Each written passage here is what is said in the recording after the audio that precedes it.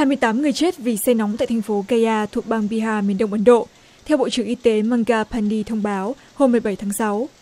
Các bệnh viện la liệt những người già nằm trên giường bệnh, trước những thùng nước làm lạnh khổng lồ. Hầu hết bệnh nhân trên năm mươi nhăm đến sáu mươi tuổi là cư dân của các bang có nhiều đồi núi. Giới hữu trách đảm bảo tất cả các thủ tục điều trị say nóng được tuân thủ tại các bệnh viện.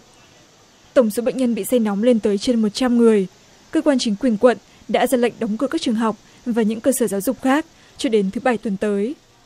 Tổ chức y tế thế giới cảnh báo, nắng nóng liên hệ đến biến đổi khí hậu sẽ cướp đi sinh mạng của thêm ba mươi tám ngàn người nữa, mỗi năm trên toàn thế giới, từ năm hai ngàn ba mươi đến năm hai ngàn năm mươi. Trong năm hai ngàn mười lăm, các đợt nóng tại ấn độ làm cho hơn hai ngàn bốn trăm người thiệt mạng, theo số liệu của chính phủ.